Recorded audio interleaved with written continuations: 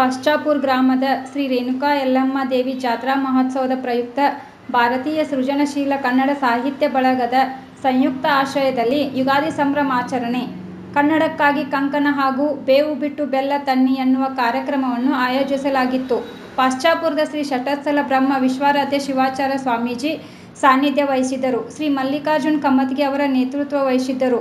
ಬಳಗದ ಸಂಸ್ಥಾಪಕ ರಾಜ್ಯಾಧ್ಯಕ್ಷ ಶ್ರೀ ಆಸಂ, ಶ್ರೀಧರ್ ಆಸಂಗ್ಯಹಾಳ್ ಮಾತನಾಡಿ, ಸೌದತ್ತಿ ಯಲ್ಲಮ್ಮ ದೇವಿಯ ಚರಿತ್ರೆಯನ್ನು ತಿಳಿಸಿಕೊಟ್ಟರು. ಬಳಗದ ರಾಜ್ಯ ಪ್ರಧಾನ ಕಾರ್ಯದರ್ಶಿ ಚನ್ನಬಸಪ್ಪ ಚೌಗ್ಲ ಪ್ರಾಸ್ತಾವಿಕವಾಗಿ ಮಾತನಾಡಿ, ಜಾತ್ರಾ ಕಾರ್ಯಕ್ರಮಗಳಲ್ಲೂ ಕೂಡ ಕನ್ನಡದ ಕಾರ್ಯಕ್ರಮ ಆಯೋಜಿಸಿರುವುದು ಬಹಳ ಸಂತದ ಸಂಗತಿ ಎಂದರು.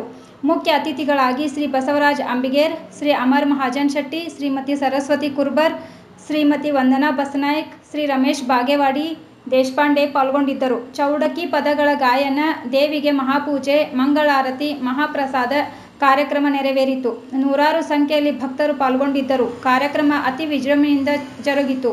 ಶ್ರೀ ನೀಲಕಂಠ ಭೂಮಣ್ಣವರ್ ನಿರೂಪಿಸಿ ವಂದಿಸಿದರು. ಅವರ ಪರವಾಗಿ